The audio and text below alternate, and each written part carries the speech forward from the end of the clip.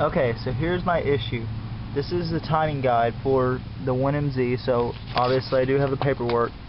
Alright, skipping to the chapter where you're supposed to align the cams. Okay, on the right bank, you're supposed to align the cams with two dots to each, to the exhaust cam and the intake cam. Okay?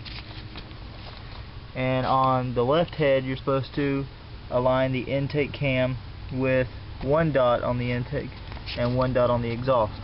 Okay, so we go over to my 1MZ.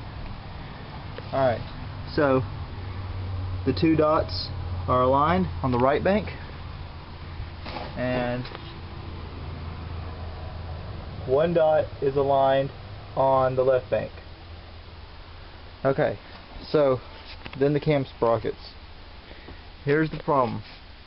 On this one, the timing mark lines up correctly with the mark on the back plate.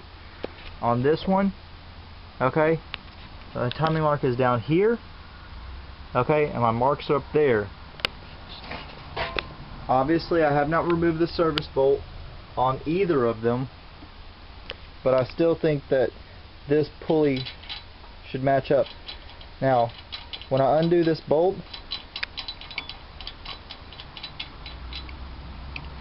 obviously I can't put the camshaft another way because of the knock pin right there. It's not going to go on but just one way.